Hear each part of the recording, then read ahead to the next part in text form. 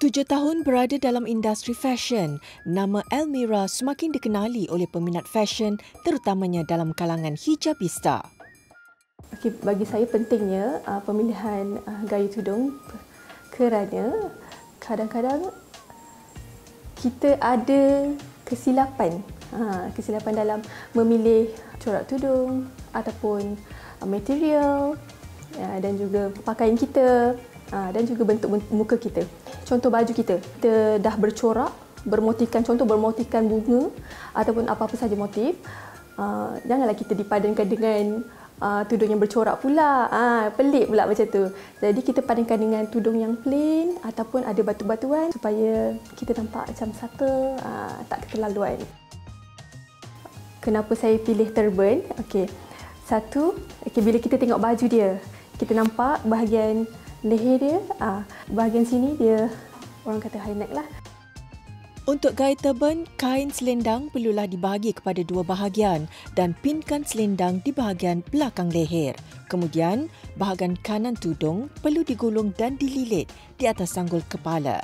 Seterusnya, pinkan lebihan kain menggunakan jarum peniti. Lakukan kaedah yang sama di sebelah kiri dan selitkan lebihan kain agar lebih kemas. Penggayaan turban uh, sesuai untuk kalau macam kita ada event-event. Actually untuk bridal pun boleh juga sebab memang banyak juga permintaan sekarang. Casual pun boleh juga kalau kita nak pakai turban.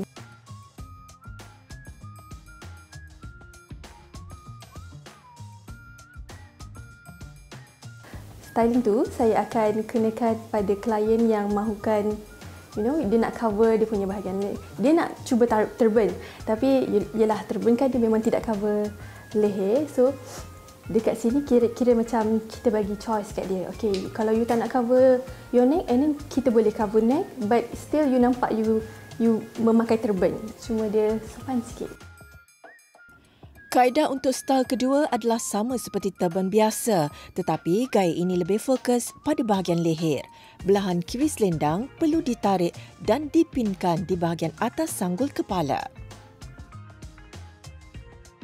Style macam ni sesuai mana-mana pun boleh. You nak keluar uh, berjumpa kawan-kawan, you nak ke event, even bridal pun okey juga. Uh, yang ini kita akan bagi nafas barulah. Uh, kita akan modernkan dia uh, dan tudung tu lebih kepada macam draping, draping yang cantik kan untuk cover bahagian dada kita. Yeah. Bagi gaya seterusnya, pastikan belahan tudung bawal dibahagi kepada dua, bahagian panjang dan pendek. Kemudian lipat tudung menjadi tiga segi dan pinkan bahagian pendek di leher. Kemudian tarik bahagian panjang ke atas sanggul kepala. Kemaskan bahagian tersebut dengan menggunakan jarum peniti dan pinkan juga di bahagian bahu agar terbentuk cantik. Kalau styling macam tu, dia cantik yang tak perlu orang kata berlebihan sangat dia punya perincian tu kalau plain pun cantik, ada motif pun tidak perlu orang kata terlalu banyak.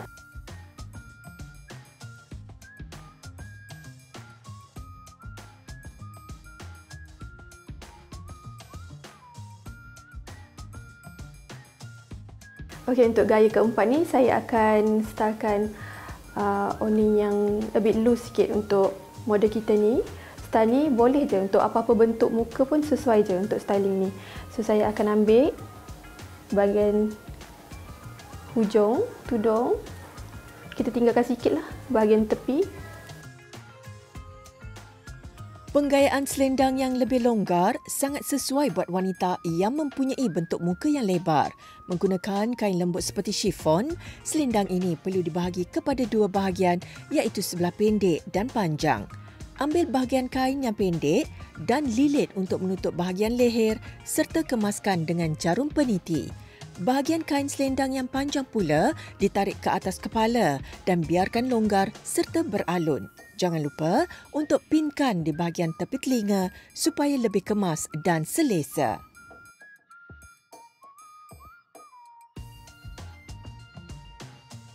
Ada setengah orang bentuk mukanya uh, agak cabi sikit kan. Uh, sama ada dia bentuk square ataupun dia bulat. Okay, style owning loose ni memang sesuai sangat. Style ni actually boleh je. Apa-apa bentuk muka sebenarnya okey saja untuk pakai style ni. Boleh untuk you know nak pergi event ke, event bridal ke, uh, untuk kenduri kahwin, uh, untuk hari raya nanti. Ha, bagi yang meminati tudung bawal pula, fashion yang terakhir ini adalah gaya biasa tetapi diberikan sedikit kelainan agar pemakai kelihatan lebih moden dan anggun terutamanya peminat kain satin.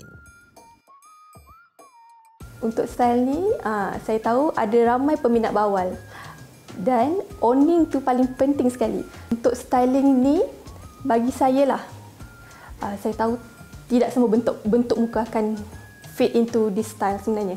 So kalau kalau mana yang ada shape muka macam bentuk oval, uh, bentuk heart shape, uh, yang tu Abi kata bila pakai tu owning dia akan insya-Allah akan cantik lah.